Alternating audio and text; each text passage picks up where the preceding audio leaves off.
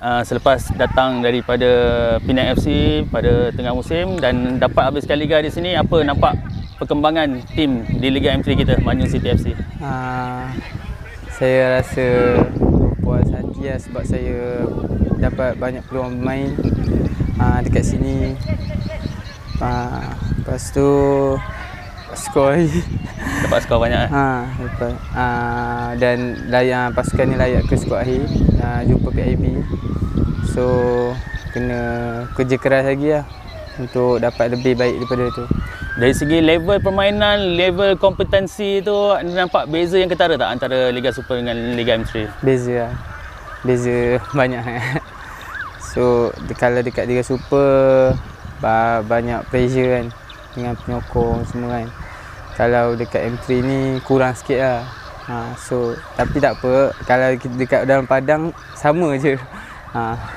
so kalau uh, in the future lah kalau macam Syamin diberi pilihan sama ada untuk kekal di M3 dengan minit permainan ataupun kembali ke Liga Super yang mana? Kembali ke Liga Super lah. Tetap nak Liga ha. yang tertinggi lah. Ha. So bila Syamin kata nak kembali ke Liga Super tu ada berita daripada FNL kata rombakan dan hmm. Liga M3 berpeluang juga untuk naik ke Liga Super hmm. dan Manjung City pun berpeluang. Jadi hmm. ada excited tak kalau nak bawa tim ni yang ke Liga Super? Excited juga ah. Ha, tu saya cakap kat diorang semua yang dah FNL buat macam tu kita kena berusaha keras lah kan jangan berungut apa yang coach buat semua kan kalau ada rezeki kita orang ke final insyaallah kita orang akan main play off kan ha. kalau layak rezeki lah buat warga Manjung Perak juga kan ha. Kalau dari mata Syamil lah yang dari awal season main Liga Super kemudian setengah season balik ke M3 rasa pasukan ni dah berada hampir untuk sampai ke tahap Liga Super ataupun memang dah sampai dah? Uh, nak kata dah sampai tu taklah tapi budak-budak ni muda kan. Uh, so kalau diorang bekerja keras semua insya-Allah boleh boleh sampai. Hmm. Syamin sendiri tengok kalau dibandingkan dengan Penang FC, hmm. pemain-pemain di Manjung City ni apa kelebihan diorang ada? Uh, dekat sini semua umur dekat-dekat kan. Ha, so kalau main pun satu hati lah. Kalau dekat Penang, ha, okey one family juga tapi ada sini import semua kan. Ha, so dia tak ni sangat lah. Ha. So untuk Sukahi, apa persediaan ataupun target Syamin sendiri nak skor setiap game ke macam mana? Sebab sekarang pun dah banyak skor kan? Hmm. Apa target? Ha, InsyaAllah kita orang nak mara ke separuh air dan final lah. Ha, itulah kita orang punya target. Ha, sebab kadang kan M3 kan tahun lepas kan tunda tunda kan. Ha, so dia nak tunjuklah tahun ni. Ha, yang habis habis baik. Tapi lawan yang akan ditemui itu bukan calon-calon juga. Ha, ya, FC ramai juga player-player bekal Liga Super. So macam mana nak berhadapan dengan dia orang tu? Ada tak macam teammate pun minta nasihat Syamin nak berhadapan dengan dia orang? Ha, bagi saya sama je.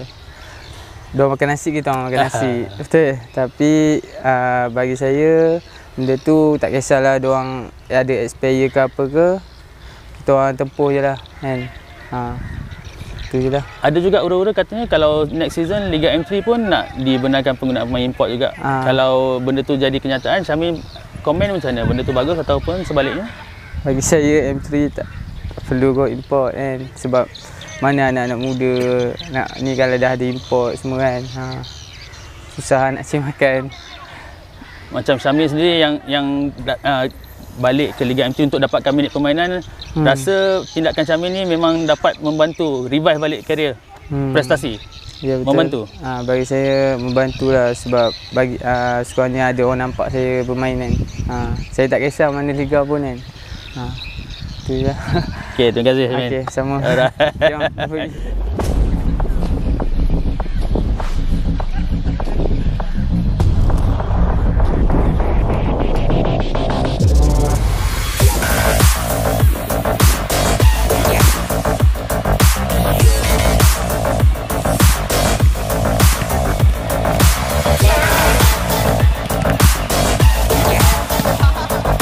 Captain. Okay, so far boleh ceritakan selepas habis Liga nak berhadapan dengan Sukakhir ni macam mana prestasi sepanjang Liga? Puas hati ataupun rasa ada benda yang nak diperbaiki?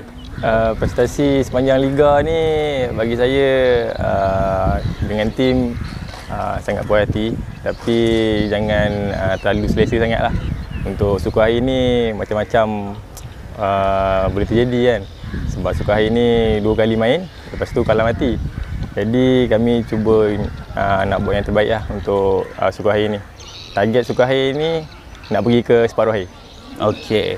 So bila tengok liga tu uh, tamat di tempat kedua. Okey di belakang Kinabalu Jaguar. So rasanya apa yang perlu dipertingkatkan untuk at least lah dapat bersaing dengan Kinabalu Jaguar or, uh, tim yang lebih atas macam tu.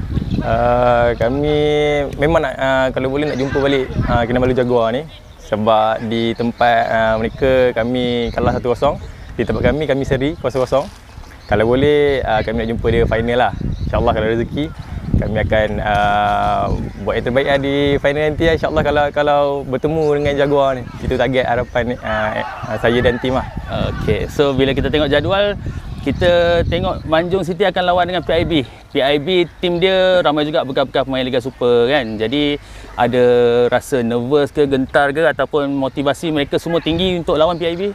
Uh, bagi saya, kawan-kawan saya uh, tak ada rasa gentar, tak ada rasa takut. Uh, Depa pun cakap uh, siapa pun kita jumpa kita langgar je lah kan. uh, tak, sebab uh, sama je. Player semua sama. Uh, kat sini pun ada beberapa player yang dah pernah main dengan senior, senior, uh, senior team. Jadi kami, siapa pun kami kami berjumpa, kami langgar lah. Itu je. Sebagai kapten mungkin banyak berkomunikasi lah dengan pemain-pemain lain kan. So bila dengar berita FAM buat rombakan liga dan ada kemungkinan klub M3 boleh naik ke Liga Super, ada tak bersembang dengan player-player lain tentang kemungkinan nak pergi Liga Super tu? Masing-masing excited tak? Atau awak sendiri macam mana? Bagi saya saya sendiri kalau uh, diberi peluang TMCFC ni naik ke Liga Super itu satu orang kata penghormatan lah uh, untuk naik ke Liga Super.